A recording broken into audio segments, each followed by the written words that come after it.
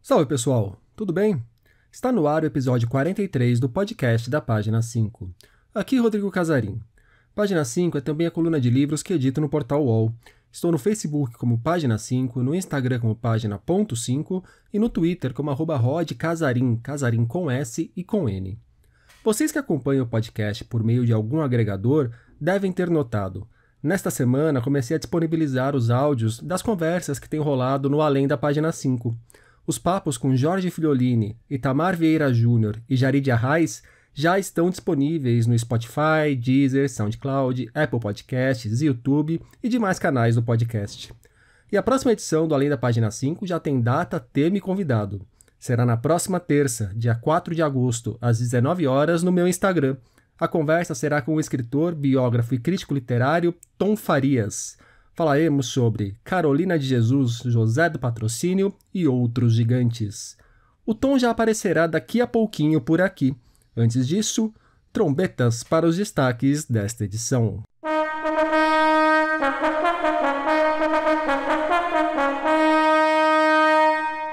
Tom Farias fala sobre José do Patrocínio, a pena da escravidão. O curso Por que Estudar Literatura, as novidades de Audre Lorde, ícone do feminismo negro. Conexão São Paulo-Berlim numa coletânea sobre a pandemia. Editora Reformatório pede a sua ajuda. Maia Falks, Antônio Arnone Prado e a poesia de Amiror nos lançamentos.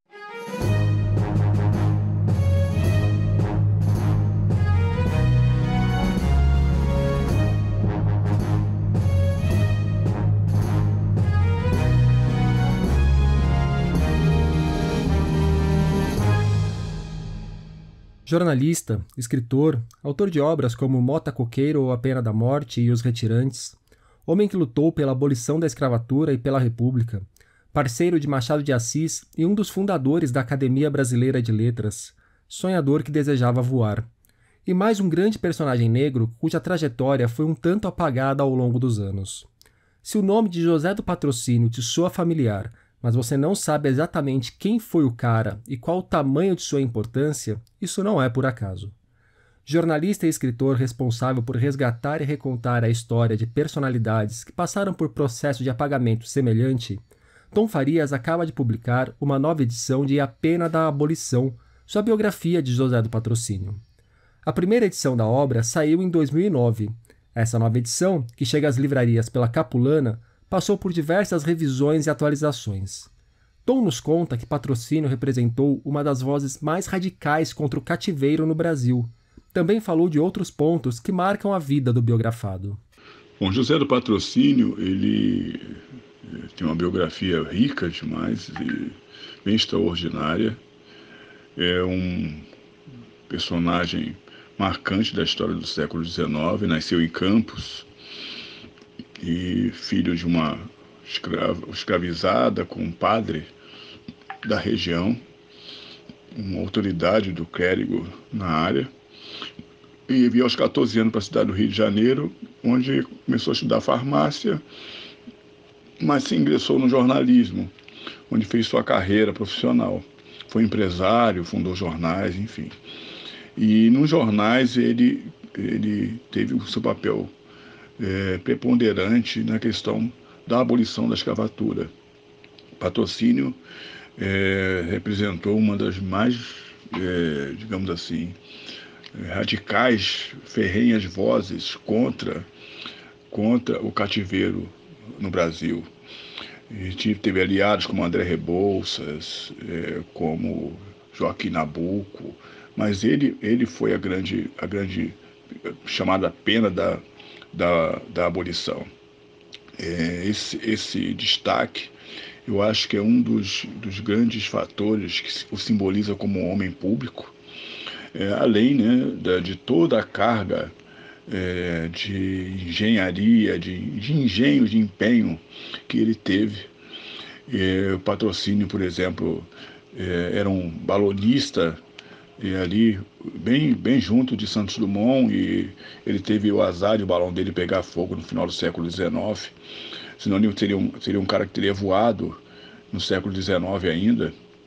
É, ele, ele é mentor intelectual e proclamador civil da República no Brasil e o, o, o homem que teve o primeiro automóvel a circular na rua do Rio de Janeiro. Né? E também o primeiro desastre com, com o poeta Olavo Bilac. Eu acho que esses fatores marcam bastante o homem que ele é, é a força que ele teve no século XIX, né? o, o grande papel dele no desfecho da abolição da escravatura. Aqui para o podcast, o Tom se aprofundou no empenho de patrocínio na luta pela abolição da escravatura. Sua militância se deu, inclusive, por meio da publicação da literatura em verso e prosa. Na imprensa, assumiu um pseudônimo cujos textos causaram muito barulho entre os mais poderosos. Também comprou um jornal, onde foi ainda mais incisivo na sua batalha contra o comércio de carne humana, como Tom aponta. Grande, os grandes feitos do José do Patrocínio eu destaco é, exatamente sobre a questão da abolição da escravatura.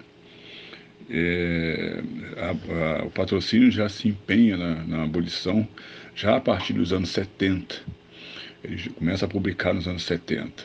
E ali também, quando, quando aluno de farmácia, é, havia no, na, na faculdade de farmácia, que era a mesma faculdade de medicina, um jornal e ele militava nesse jornal, publicando versos e textos em prosa. Mas a, a, grande, a grande ação do patrocínio vai se dar na Gazeta de Notícias, onde ele é, assume um, um pseudônimo chamado Prudhomme, e é, o, é um pseudônimo que causa furor é, na sociedade da corte é, daquele período isso entre a volta por volta de 1870, 1880, e ele, ele, ele é, é ferrenho, é, é, duro contra, contra o império, é duro contra, contra os latifundiários, é duro contra os, os escravocratas. Então isso, isso determina muito o papel dele. Depois ele sai desse jornal e compra um jornal chamado Gazeta da Tarde, que é um jornal abolicionista. E aí é, ele, ele, de maneira ainda mais incisiva ainda, é, mostra seu, a sua contrariedade com, com, a, com o comércio de carne humana. É, sai desse jornal e, e, e entra e, e, cria o jornal Cidade do Rio, que é o desfecho da abolição. Cidade do Rio, o desfecho da abolição. Mas ele, como jornalista, ele fez grandes reportagens. Primeiro contra a pena de morte, Escreveu inclusive um romance a respeito. Depois, contra a seca, alarmando a seca no Ceará, outro romance que ele escreveu, chamado Os Retirantes. Então, o patrocínio está sempre na linha da, dos intelectuais, dos escritores, né, dos jornalistas que denunciam as mazelas da sociedade brasileira. Então, acho que esse é um grande feito da biografia do patrocínio é, infelizmente ele morreu pobre porque gastou todo o dinheiro dele no sonho de voar de balão, enfim, né? Em toda essa, essa panaceia de que ele, que ele tinha de que poderia mudar o mundo e teve papel importantíssimo nisso, porque influenciou muitos jornalistas, influenciou toda uma sociedade que via a carga dele, mas foi um, um dos enterros mais festejados, é, mais concorridos, aliás, do Rio de Janeiro de 1905. O Tom ainda falou sobre a nuvem de obscurantismo que paira sobre os personagens negros de nossa história, neste caso, especialmente sobre nomes do século XIX. É, José do Patrocínio, quer dizer, a importância dele histórica como personagem, está é, tá muito imbricada ali no século XIX, porque ele morreu, ele nasceu em 1853 e morreu em 1905, ou seja, no, no, na virada do, do, do, século XX. Então, sua grande importância realmente está no, no século XIX. Mas é um, um, um personagem que, como os demais personagens negros daquela época, ele está envolto nessa nuvem de obscurantismo né, criminosa que a história, os livros didáticos, enfim, costumam encobrir. Ele não era um, um, um, um, personagem qualquer, quer dizer, era um personagem importante daquela história, não só como empresário, político, é, tribuno, mas também como, como escritor. O Patrocínio tem três grandes romances publicados no século XIX. Esses romances não são conhecidos. É, Patrocínio é fundador da Academia Brasileira de Direito, ao lado do amigo Machado de Assis e de outro, Domício é, da Gama, por exemplo, que era um outro negro é, da, daquele período. Né? Então, é, o, o, nem se sabe né, que o Patrocínio fundou, é fundador da Academia Brasileira, Brasileira de Letras.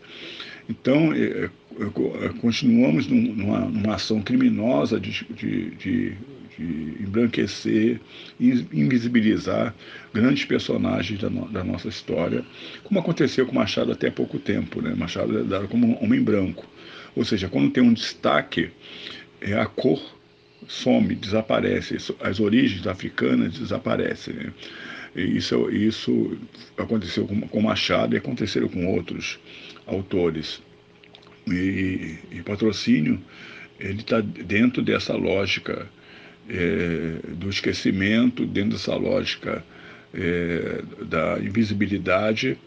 E, e, aí, quer dizer, logicamente, a sua importância, o seu papel na história do Brasil né, na transformação da história, a grande contribuição que ele deu para a história do Brasil fica exatamente esquecidas. Não chegam, não chega às universidades, não chega às escolas públicas, não chega aos jovens que a quem deveria interessar grande, os grandes feitos que ele, que ele empreendeu. Além de José do Patrocínio, Tom Farias escreveu as biografias dos escritores Cruz e Souza e Carolina Maria de Jesus. Foi finalista do Jabuti com ambas, sendo que a da Carolina o levou à final do ano passado. É para conversar sobre esses gigantes da nossa história que vai rolar o papo com o Tom na próxima terça, dia 4, no Instagram da página 5. Como já disse, começará às 19 horas. Se tiver perguntas para o Tom, só me encaminhar que já coloco na pauta. Por que estudar literatura? Você já se fez essa pergunta? Pois ela está sendo respondida num curso na faixa que Marcos Marcionilo começa a ministrar via YouTube no canal da Parábola, casa da qual é editor. Serão cinco encontros que passarão por temas como por que estudar literatura, para que serve a literatura, forma e conteúdo e literatura e diversidade. Toda quarta-feira, até o dia 26 de agosto, será lançado um novo episódio no canal da editora. O curso é baseado nos livros Por que Estudar Literatura, de Vicente Juve, e Metodologia da Pesquisa em Literatura, de Alquerude Durão, ambos publicados pela Parábola. E se eu errei a pronúncia de algum dos nomes, eu peço desculpas. O Marcos contou que, abre aspas, os interessados podem esperar provocação e defesa de uma literatura incômoda e desafiadora, que não seja feita de olho no cânone literário, mas concentrada no registro e na memória do acaso e do absurdo que dão surgimento à angustiosa aventura humana, transformada em linguagem e em arte. Porque estudar literatura faz parte do programa de cursos livres disponibilizados no canal do YouTube da Parábola a aula sobre outros temas, deixarei o caminho para vocês. Já assisti aulas e conversei bastante com o Marco sobre literatura. É ótimo ouvi-lo sobre o assunto. Não perderia essa chance de aprender com o mestre, então a notícia também fica como dica para todos vocês. Filha de imigrantes caribenhos que viviam no Harlem, Audrey Lorde nasceu em 1934, em Nova York.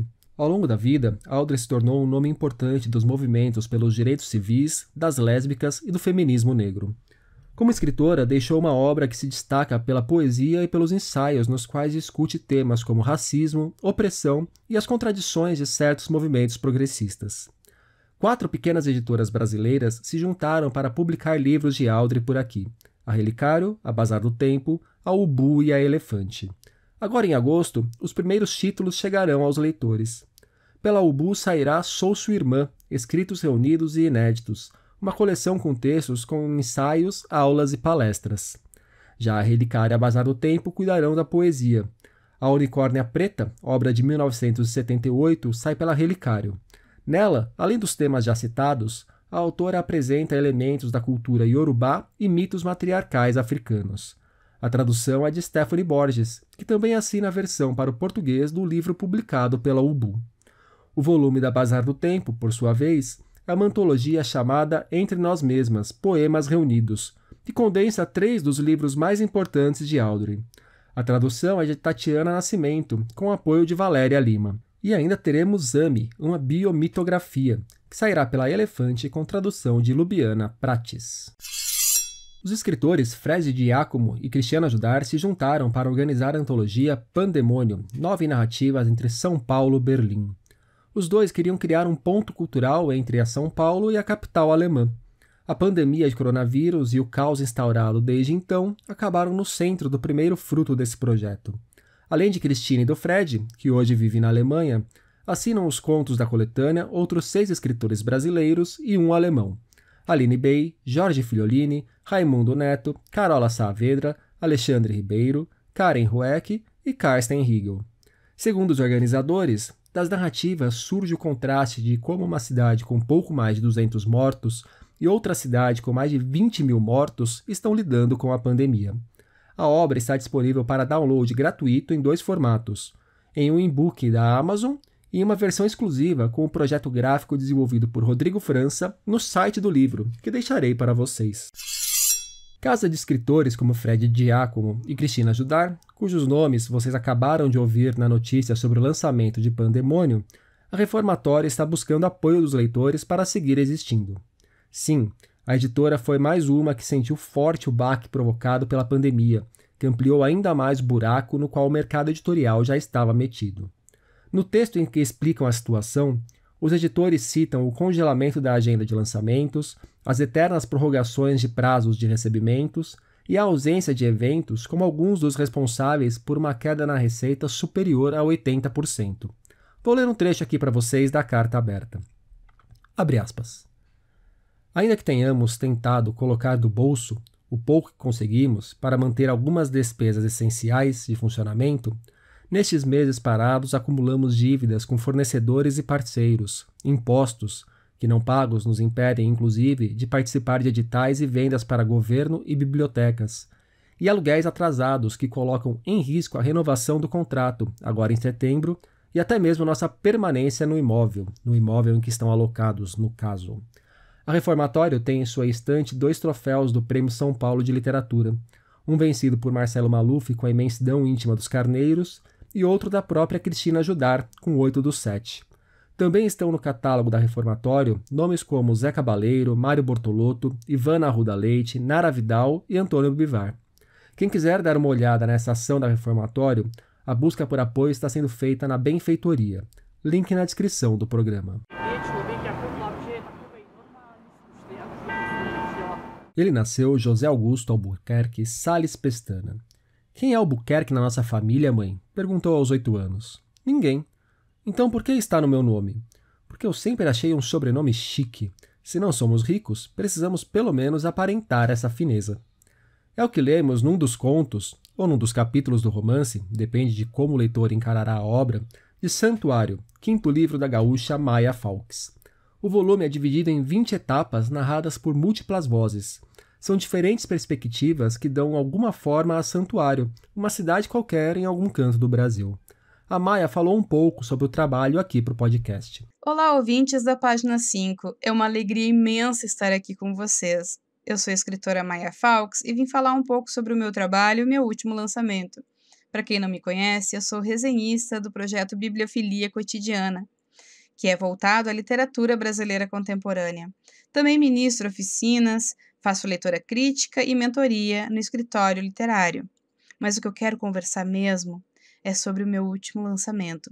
Trata-se do meu quinto livro, Santuário, publicado pela editora Macabea do Rio de Janeiro. Santuário é uma cidade muito pequena de interior, onde, em vez de fugir dos clichês, eu brinco de potencializar os estereótipos, tendo as beatas, as fofoqueiras, os canalhas e os corruptos, tudo isso dentro de um cenário de 20 histórias que podem ser lidas separadamente ou juntas como um romance. Essa história traz muito do que é o convívio social entre os seres humanos e brinca com os estilos literários, indo desde o comédia até o realismo mágico. Muito obrigada pela atenção de todos. Muito obrigada, Rodrigo, pelo espaço e façam uma ótima leitura. A Maia é também autora de livros como Poemas para Ler no Front e Histórias da Minha Morte. Como ela contou, Santuário saiu pela editora Macabea. Por um lado, capta o processo de transformação de uma cidade tão difícil de apreender como São Paulo. Por outro, recupera e confere ao tempo de menino a força, o brilho, a espessura e a potência de acontecer que são próprias do presente. É dessa forma que Alberto Martins apresenta O Último Trem da Cantareira, primeiro livro de ficção do crítico literário, ensaísta e professor Antônio Arnone Prado. Na obra recheada de elementos memorialísticos, um professor universitário está prestes a subir ao palco para receber uma homenagem, quando amigos da infância o surpreendem. São camaradas como Luiz Crem, Paulo Louco e Frangão, com quem o protagonista vivia pelas ruas do Tremembé e outras quebradas de uma antiga zona norte de São Paulo. Faziam molecagem de todos os tipos, mas também davam uma força quando alguém precisava de uma mão. O último trem da Cantareira, de Antônio Arnone Prado, saiu pela 34 e deverá ser lido mais cedo ou mais tarde, porque fala da São Paulo onde vivo, ainda que em outro tempo, algo raro de se encontrar por aí em nossa literatura. Acaba de ser publicado o primeiro livro traduzido para o português do israelense Amiror, poeta, romancista, tradutor de poesia erótica grega, ensaísta e editor. A Paisagem Correta traz 51 poemas de Amir que representam décadas de uma produção iniciada no final dos anos 80. Amiror é também ativista cultural e uma das cabeças por trás da Escola de Poesia Árabe-Hebraica. Ele ainda coordenou programas que aproximam e incentivam a criação conjunta de escritores árabes e israelenses. Quem assina a orelha de A Paisagem Correta é João Anzanello Carrascosa, que pintou por aqui na edição 37 do podcast. Já a organização e a tradução ficou por conta de Moacir Amâncio. O Amir mandou um áudio recitando um dos poemas pra gente em hebraico. הברברים, סיבוב שני. לא לשווא חיכינו לברברים. לא לשווא נקהלנו בכיכר העיר. לא לשווא עטו גדולינו את בגדי כבודם, ושיננו את נאומם לכבוד המאורע. לא לשווא ניתצנו את מקדשנו, ובנינו אחרים לאליהם. כדת שרפנו את ספרינו, אשר אין חפץ בם לאנשים כאלה. כדבר הנבואה באו הברברים, ונטלו מיד המלך את מפתחות העיר, אך בבואם עטו לבוש כלבוש הארץ, ומנהגם היה מנהג המדינה. ואת ציוו עלינו בלשוננו, לא ידענו עוד מתי באו הברברים. Como vocês não devem ter entendido muita coisa, o Moacir também mandou um áudio fazendo a leitura da tradução. Os bárbaros. Não em vão esperamos pelos bárbaros. Não em vão nos juntamos na praça da cidade. Não em vão vestiram os nossos maiorais os trajes de honra e estudaram os discursos em respeito ao evento. Não em vão esmagamos nossos templos e construímos outros dedicados aos deuses deles Conforme o figurino, queimamos nossos livros, que nada guardavam para gente como aquela. Como numa profecia vieram os bárbaros, e pegaram da mão do rei as chaves da cidade. Mas na sua vinda eles se cobriram com trajes locais. Seus costumes eram os costumes do país. E quando nos comandaram em nossa língua, já não sabíamos quando os bárbaros vieram. Como Moacir mencionou, este poema se chama Os Bárbaros. A paisagem correta chega ao Brasil pela Relicário. E nos últimos dias, na página 5, nós tivemos Dia do Escritor e a necessidade de termos mais leitores. O Pequeno Príncipe Preto, a versão do clássico que toda criança merece ler. O caso Mark Dawson, a tara do povo pela lista dos mais vendidos e caminhos mais confiáveis para encontrar boas leituras. Eduardo Galeano nos 90 anos da final da primeira Copa do Mundo. Por hoje é isso, pessoal. Indiquem o podcast para os amigos e inimigos. Um abraço, um beijo, um aperto de mão e até a semana que vem.